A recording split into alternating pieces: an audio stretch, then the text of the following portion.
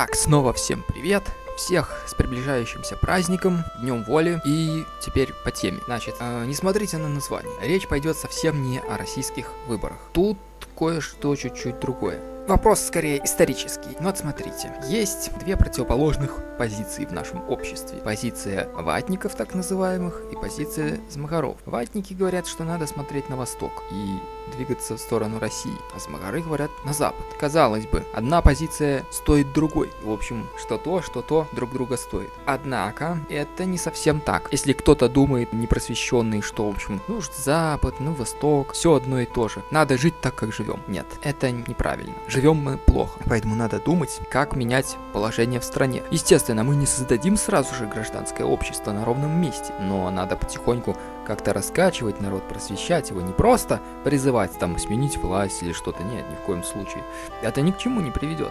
Надо именно раскрывать людям глаза на действительность, на то, почему они так живут. Лукашенко это всего лишь только производные нашего народа, но послушайте вот что. Две позиции. Одна такая, одна такая. Вроде равнозначные, но на самом деле нет. Послушайте почему. Собственно, из-за этого Ролик и называется День сурка, потому что такое уже было. И некоторые говорят, вот, если мы присоединимся к России, ну что там плохого будет, мы же будем жить вот так, вот и сяк, и Беларусь там, как говорится, соединиться с семьей славянских народов, еще бы и Украину сюда тоже, все объединить, опять создать Советский Союз, ну то есть можно без коммунизма, такой вот союз. Казалось бы, ну идея вроде как стоящая, однако, послушайте, вам не кажется, что такое уже когда-то было? Вспомним тогда, 18 век, Речь Посполитая, да, подел пределы Речи Посполитой, когда Россия, Пруссия Австро-Венгрия разделили Речь Посполитую. И, в общем, народ по большей части вел себя почти так же, как и сейчас. Однако не все, не все, некоторых это не устраивало. Помним про восстание Тадеуша Костюшка. Пытались что-то сделать, воспрепятствовать, так сказать, воссоединению славянских народов и вхождению Беларуси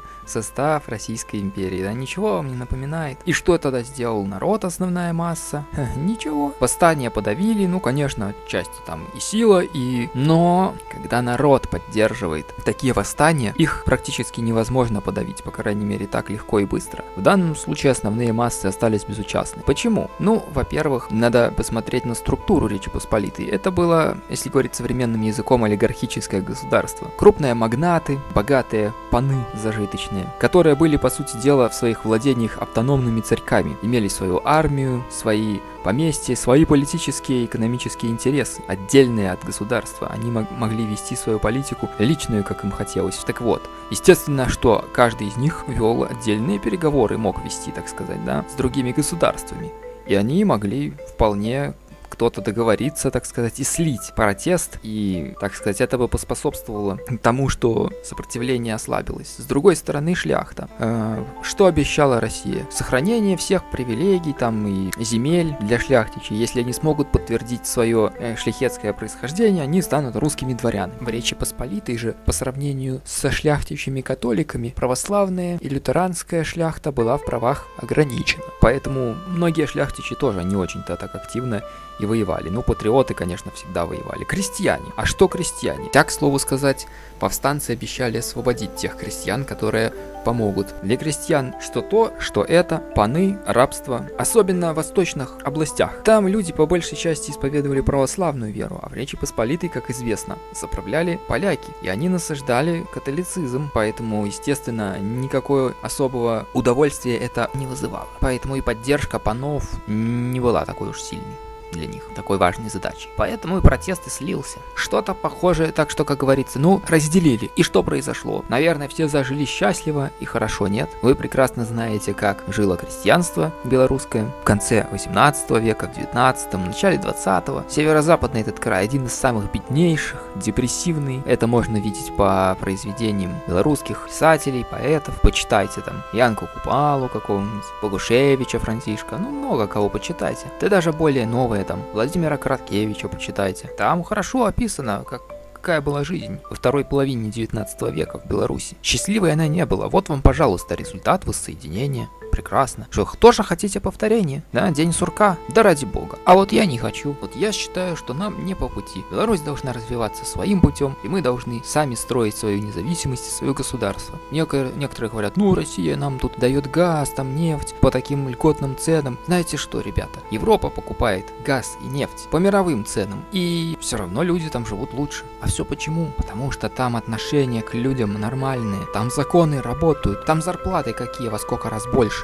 А ведь так же было не всегда. Посмотрите, в то же самое время, когда там Речь Посполитую разделяли, как жили европейские страны, те же французы, немцы, какая там была законность, какая там была чистота, как там все работало. Понимаете? Там люди поняли, что к чему, и пошли в правильном направлении. А мы все идем за царями. Может, хватит уже? Пора голову включать. Ау, народ, праздник на дворе, день боли. Не хочется, конечно, портить все это такими рассуждениями и разговорами. Видите ли, вот пришлось. Увы, но, к сожалению, без этого правильное понимание ситуации и положения белорусских, украинских, польских патриотов э, невозможно. Ватники пытаются свести все к тому, э, что эти патриоты являются исключительно врагами и коллаборационистами. Да, с точки зрения России и последующим Советского Союза это именно так и есть. Но с их точки зрения, то есть польских, белорусских, украинских патриотов, это совсем по-другому, понимаете? У них была их страна, их государство, Речь Посполитая, которую разделили совершенно гнусно, никого не спрашивая. Их не спросили, хотят ли они идти в Россию, в Австро-Венгрию или в Пруссию или еще куда. Их просто разделили и все, и государства их не стало. Поэтому чему удивляться, что буквально через 20 лет, когда пришел Наполеон, множество людей в Польше и в Беларуси присоединилось к Наполеону, поскольку он возродил Варшавское герцогство, то есть, по сути дела, обещал им независимость. Что в этом плохого? Они пытались вернуть свою страну, которую потеряли. А у ватники, вам это ничего не напоминает? Ваши же собственные крики о том, что «О, давайте СССР возродим», ведь все же были 70% на референдуме проголосовало за то, чтобы он сохранился, а его взяли и разделили. Вот представьте, что есть другие люди, которые э, примерно вот так же видят ситуацию со своей точки зрения. Да и в конце концов, если судить о героях и злодеях, то э, кем, по-вашему, интересно интересно является, например, э, Александр Невский, признанный герой, русский князь, который победил немцев, немецких рыцарей тевтонских и швед, шведских рыцарей. Однако, в то же самое время он э, помогал татарам подавлять э, восстание русских против вот этих самых татар, против этой Золотой Орды. Кто он? Предатель, герой. Кстати говоря, он канонизирован Русской Православной Церковью. Вы можете однозначно так ответить на этот вопрос? Нет? Тогда и не надо навешивать ярлыки на других. Заканчиваем заканчиваем наш выпуск, и на этом я хотел бы еще раз поздравить всех своих подписчиков и всех белорусов с Днем Воли. Святкуем разом! 25 марта воз... на площади возле оперного театра. И да, еще чуть не забыл, не забываем подписываться на канал, ставить лайки и высказывать свое мнение в комментариях. А что вы думаете? О Речи Посполитой, об Александре Невском, о нашей истории, а также сообщаю, что всегда готов к сотрудничеству с любыми другими блогерами в части создания совместных видео, а также э, к приему материала от своих подписчиков и от всех желающих. Если у вас что-то есть, э, можете сообщить мне, и это будет озвучено в одном из следующих выпусков. А теперь прощаемся.